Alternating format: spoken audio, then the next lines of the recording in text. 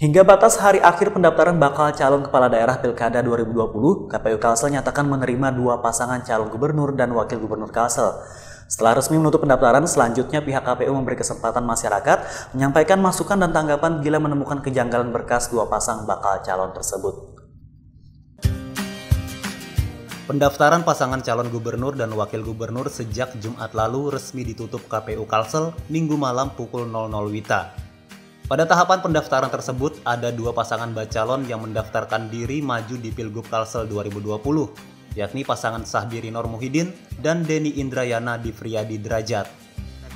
Selanjutnya selama masa verifikasi berkas pendaftaran, pihak KPU memberi kesempatan kepada masyarakat untuk menyampaikan masukan dan tanggapan tentang dua pasangan bacalon yang telah mendaftar tersebut. Tanggapan itu bisa berupa kejanggalan dari berkas dua pasangan itu, syarat calon gitu. Kami akan upload di laman KPU provinsi dan laman KPU RI masyarakat kan bisa membuka portal itu bisa memperhatikan apa saja menjadi persyaratan calon nah kalau umpamanya di persyaratan calon itu ada yang janggal atau ada yang mempertanyakan ada atau yang meragukan bahkan ada yang menyatakan palsu silakan untuk ditanggapi. Nanti kami akan minta klarifikasi jawaban dan itu bisa menjadi perbaikan nanti pada masa perbaikan di tanggal 14 sampai 16 September. Sementara itu, dua pasangan bacalon gubernur dan wakil gubernur Kalsel saat ini menjalani tes kesehatan.